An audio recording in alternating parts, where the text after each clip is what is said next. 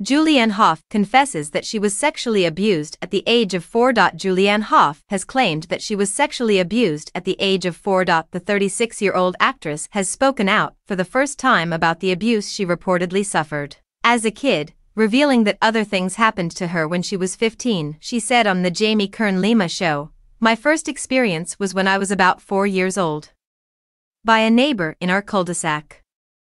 I have never said that aloud to anyone in an interview before.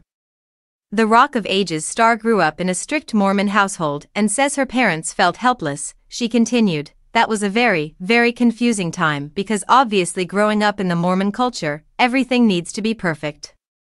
Everybody needs to put on the shiny, we got our stuff together. And there was not a lot of repercussion for what had happened. So that was a very challenging thing to come to terms with, that nobody did anything.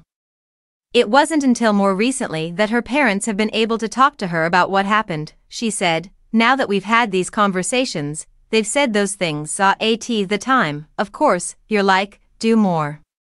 In fact, it was when she divorced Brooks Laich a few years ago that she was able to repair her relationship with her parents.